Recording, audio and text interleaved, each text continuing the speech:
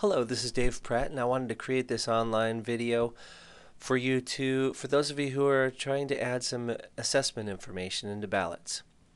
To access BALOTS, you simply put in the URL pnc.edu and then it's slash assessment.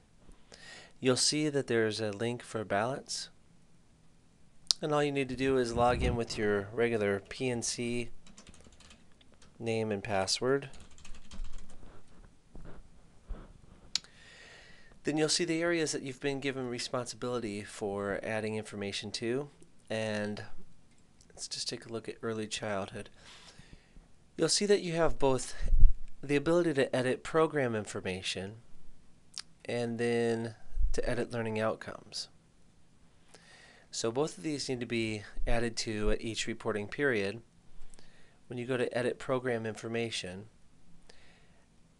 as of this semester, the it's the beginning of the spring 2010 semester, you should have program context, the learning outcomes, sources of learning outcomes, and stakeholder involvement, including stakeholder involvement for learning outcomes, for activities and assessment methods.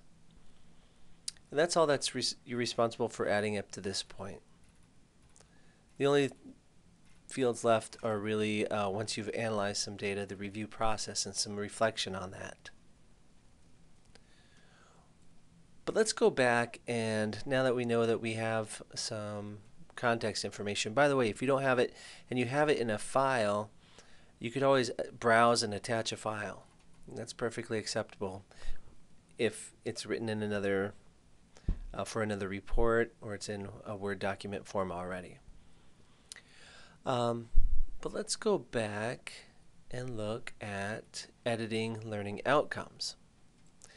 Now our first reporting, everybody did great at adding the outcomes, but what we have to do at this point is edit one of these outcomes and provide some more detailed information. For example, when I click on edit, this first outcome about child development and learning, you will see that I'm given additional fields.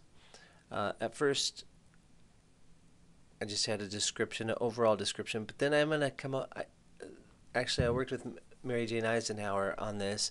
We came up with specific performance criteria that we would be measuring. And then some specific learning activities related to those outcomes or to that particular outcome. And every time you add a learning activity, um, you're asked to add the environments or the courses. And when you attach environments, it just you could search for different courses that are in the Purdue system, or they'll give you some boxes of recently added courses.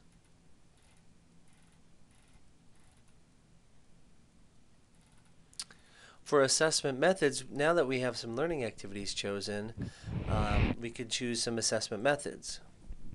And you can see that they've given you a breakout box, so you could just click the available assessment methods that you want to use.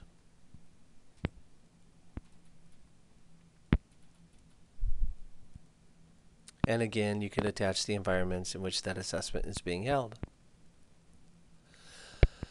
So, um, we're not up to the fourth part yet um, in our BALOTS timeline where we have to review the evidence and the findings. All that is expected now is for each program to take at least one of the learning outcomes and to add both the learning activities and the assessments related to that. So please let me know. I'm, I'm very willing to sit down with you and, and go through this uh, with you one-on-one. Uh, hopefully this tutorial has been helpful and you're able to update um, the ballot system with your appropriate assessment information. Thank you.